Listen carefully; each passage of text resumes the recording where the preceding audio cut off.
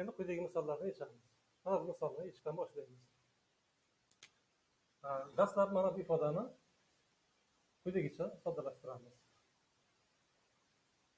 Bu ifodani sinus pi taqsim yettiga ko'paytirib bo'lamiz.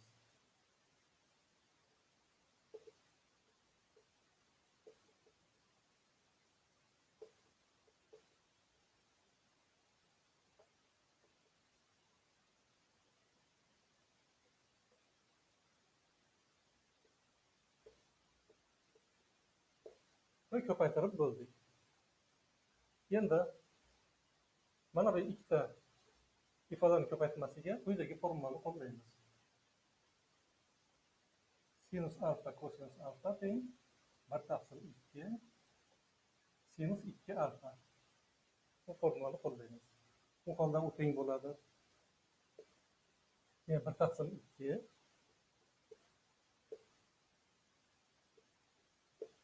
sinus ikki pi taqsim yetti qolgan qismini o'zini ko'chirib yozamiz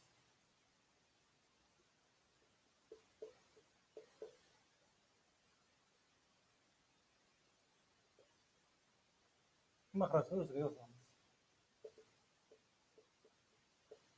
mana bu ikkita ko'paytmaga mana bu ko'paytmaga yana shu formulani qo'llaymiz bu holda bir taqsim ikki. Bu bir taqsim ikkidan bir taqsim to'rt bo'ladi.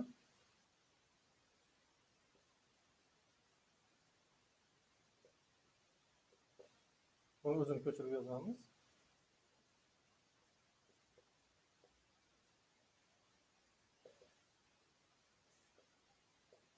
Va bu ko'paytmaga yana shu formulani qo'llaymiz. Bir taqsim ikki bilan bir taqsim to'rt bir taqsim sakkiz bo'ladi.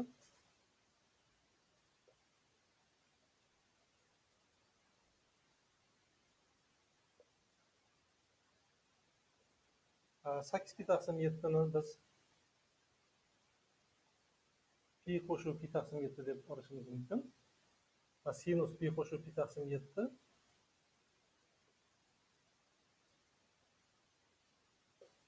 minus sinus pi taqsim yettiga teng bo'ladi mahrajni o'zini ko'chirib yozamiz buni qisqartiramiz minus bir taqsim sakkiz qoladi demak mana bu ifoda minus bir taqsim sakkizga teng ekan. Minus bir taqsim sakkiz minus yetti taqsim sakkiz minus birga teng bo'ladi. Shunday qilib biz quyidagi tenglamani hosil qildik. E, minus birni ham chap tomonga o'tkazaylik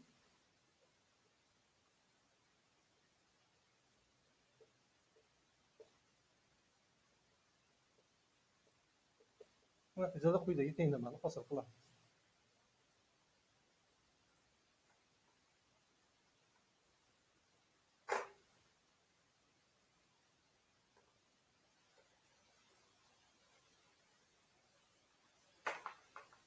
Bir minus kosinus kvadrat sinus kvadratga teng demak buni biz sinus kvadrat ikki x deb yozamiz. Teng nol bu ifodalarni qaraylik. Juft darajada bo'lganligi sababli bular manfiy emas. Ikkita manfiy bo'lmagan ifodalarni yig'indisi nolga teng bo'lyapti. Bu holda ularni har biri nolga teng bo'lishi kerak. Natijada biz quyidagi tenglamalarni hosil qilamiz. Tangens to'rtinchi darajada x nolga teng demak tangens x o'zi nolga teng bo'lishi kerak. Sinus kvadrat ikki x teng nolga demak sinus nolga teng bo'lishi kerak. Sinus ikki x teng nol tenglamalardan birini yechamiz. Masalan birinchisini yechamiz. X teng pi k k tegishli z. ikkinchisiga borib tekshiramiz. Ikki pikani olib berib qo'ysak bu yerga pikani qo'ysak sinus ikki pika bo'ladi nolga teng. Demak bu sonlar mana bu tenglamani qanotlantiradi. Tenglamani ildizlari bo'lar ekan shunday qilib berilgan tenglamaning ildizlari mana bu sonlar ekan. Javob tenglamaning ildizlari mana bu formula bilan beriladi. Navbatdagi misolga o'tamiz.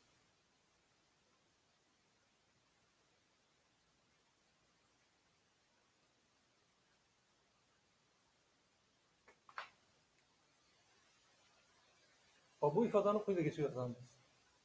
2 modul x minus 3. Ko'ryapsiz? Bu yerda ham x minus 3 yozamizda. Ko'ryapsiz? 2. Ya'ni minus 3 ni, minus 1 ni minus 3 plus 2 deb yozamiz. Chunki bu yerda x minus 3 kelyapti, xuddi bir xil qilib oldik. 2 qolgan qismini o'zini yozamiz. 2 sinus 2x taqsim 2. Teng bu. Hop, bu yerdan ikkitasidan ikkini xavfini tashqariga chiqaramiz va buni yig'indini quyidagicha o'zgartirib yozamiz. x minus 3 x minus 3 qo'shuv x minus 3 2 1 qo'shuv sinus 2x taqsim 2 teng 0. Mana bu tenglamani hosil qildik. Endi mana bu qo'shiluvchilarga e'tibor beraylik. Birinchisi mana bu ifoda va mana bu ifoda. Modul qatnashganligi sababli bu manfiy emas. Mana bu yerda har qanday sonning modulini har qanday a soni uchun a modul a qo'shuv a katta yoki teng nol bo'ladi. Chunki bu yerda modul a har qanday son uchun mana bu tengsizlik bajariladi. Shu sababli mana bu tengsizlik bajariladi. Demak, bu ifoda ham katta yoki teng bo'ldi Bu yerda a x minus uchni o'rnida ani o'rnida x minus uch kelyapti. Hop, sinusni eng kichik qiymati minus birga teng, minus birga birni qo'shsak nolga teng bo'ladi. Demak, bu ifoda ham katta yoki teng bo'ldi Manfiy bo'lolmaydi.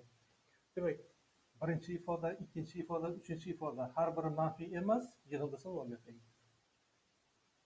Demak, nol bo'lishi uchun ularni har biri nolga teng bo'lishi kerak. Va birinchisi nolga teng ekanligidan biz x minus 3 teng 0 ekanini hosil qilamiz. Qolganlarini ko'rmasak ham bo'laveradi. Mana shuni o'zidan biz x ni topamizda, ko'rinishi sodda. Qolganlarini tekshirib qo'ya qolamiz. x barobar 3 da mana bu ifoda ham nolga teng bo'ladimi? 0 0. Demak nolga teng bo'ladi. Demak to'g'ri. Buni ham qanoatlantiradi. bunichi x o'rniga uch qo'yaylik. uch pi taqsim ikki Sinus uch pi taqsim ikki minus birga teng. Bu minus birga teng bo'ladi, plyus bir nol bo'ladi. Demak, bu ham bajariladi. Demak, x barobar uch tenglamani qanoatlantirar ekan. Uni ildizi bo'larkan. Shunday qilib, berilgan tenglamani ildizi uchga teng. Bu yerda savol tenglama nechta ildizga ega? Demak, oxirida javobni topgani, topdik degandan keyin ham masalani shartini bir o'qishimiz kerak. Nechta yulduzga ega? Deb bitta yulduzga ega. Javob bitta.